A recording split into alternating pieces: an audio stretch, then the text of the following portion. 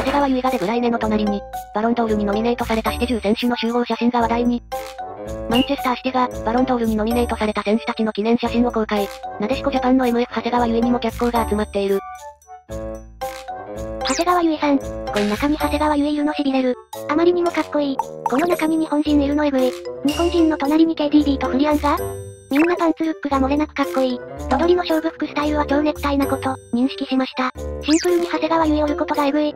次は長谷川、ハーランドが隣り合ってる絵に期待。ここに日本人がいるという誇り。長谷川唯おるのほんまやばい。